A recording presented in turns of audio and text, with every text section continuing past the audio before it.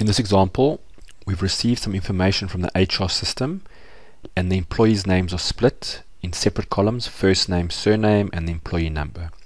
We need to get their email address. The problem is that the IT system has got a single name and occasionally the initials in front and sometimes it's at the back. We want to, in the easiest possible way, match as many of these as possible and then work through the rest. So we're going to assume that the surname should always be in here. So we need to pull through the email address. And if you're familiar with using COUNTIF, then you can also build a check using the same technique as with the VLOOKUP to check whether, for example, burger appears more than once in here, because those are the ones you're going to have to recheck.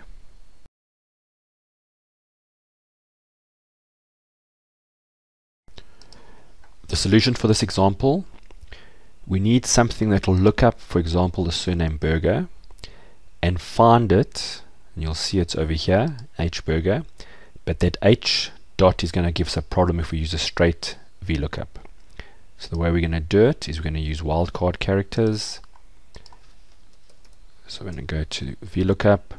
We know we want to look up the surname, but we're not sure if there's anything before or after the surname. So in inverted commas, we're going to put a star and the ampersand, and afterwards ampersand, the star. So now we're going to tell Excel to look for some cells that contain the word burger somewhere. There could be something before, there could be something after. Where must it look? In this IT list, put the dollar signs. We want to pull through the email address, which is column 2 in the range lookup we'll just put false. When I say OK we get an email address and I can now copy it down. So that's fine. However there is a risk that some of these surnames repeat themselves. So if you're familiar with using COUNTIF we're going to do it now otherwise you can learn it later. So we're now going to do a COUNTIF And what this is going to do, similar to the VLOOKUP, it's going to look up where there's burgers, except this will count how many times it would have found burger. So the range we're going to say is over here. Put our dollar signs on. And the criteria, in the same way as we did the VLOOKUP, needs to look up burger. But before we're not sure what's there, so we're going to put the multiplication sign and the ampersand and afters we're not sure inverted commas.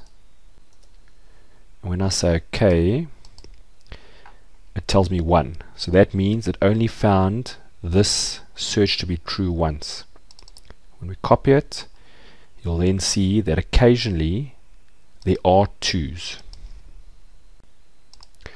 The easiest way just to check what's happening here is when then we generally put the filter on show only the cases where something appears twice or more. For example, you'll see here there's someone called high ball and there's a low ball. VLOOKUP by default will always choose the first one, so in this case we probably need to just find the correct email address here. But you can see it's a lot easier to work just on those email addresses rather than to have to look all of these.